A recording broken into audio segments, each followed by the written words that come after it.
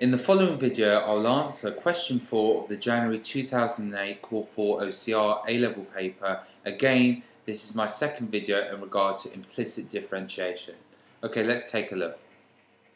The equation of the normal to the curve at the point 1, 1, uh, find the equation of normal to the curve uh, at the point 1, 1. So this is almost exactly like um, the first video question I did. I've got an implicit curve here, because it's not y the subject of the formula. I want the equation of the normal at the 0.11 in this very specific form. Okay, what I'm going to do is I'm going to differentiate the curve with respect to x. So everything I see, I'm going to differentiate with respect to x. Okay, so I'm going to do d by dx of x cubed and I know what that is, that's 3x squared. Okay, then I'm going to differentiate probably the hardest term, 4x squared y. Now, at this point, I'm going to think of 4x squared as a, y as a product rule. So I'm going to think of 4x squared as u and the y as v. Okay, and I'm going to use uv dash plus vu dash to differentiate.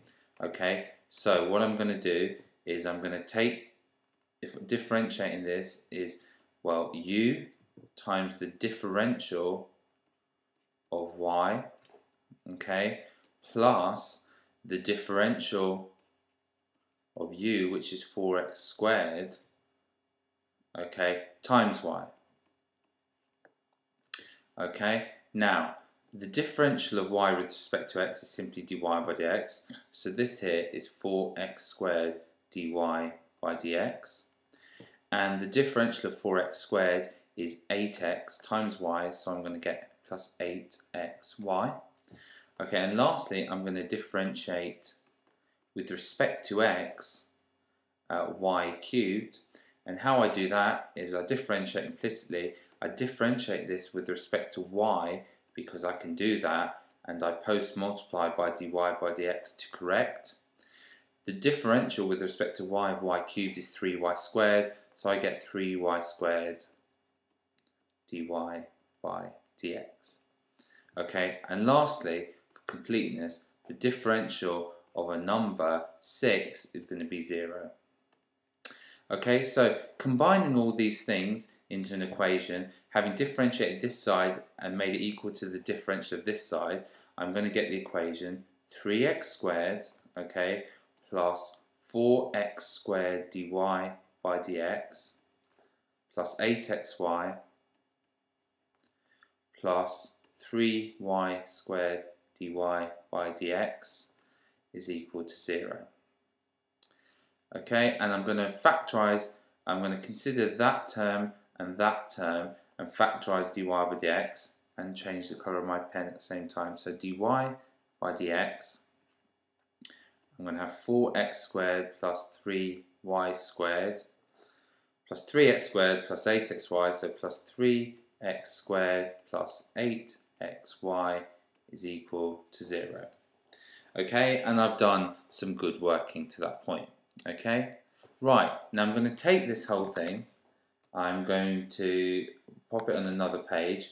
Um, this is the having differentiated implicitly uh, both sides of the equation. I want to find the equation of the normal at the point 1, 1.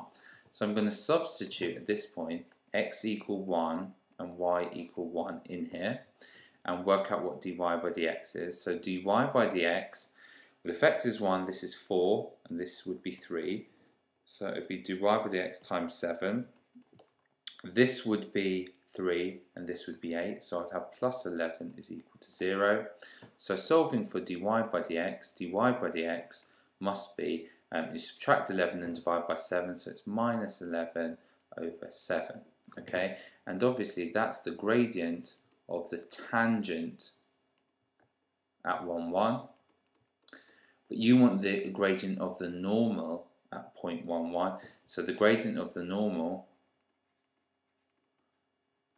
is the negative reciprocal, that is the negative uh, 1 over minus 11 over 7 which turns out to be 7 over 11. Okay, so that's the gradient of the normal, and now you use the equation of a straight line, y minus y1 is mx minus x1 uh, with the coordinates that you know 1 1 so y minus 1 is 7 over 11 x minus 1